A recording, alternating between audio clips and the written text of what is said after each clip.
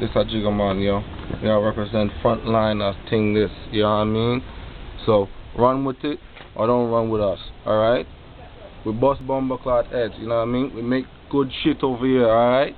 So, frontline I think this, alright? Represent Murderville, bitch.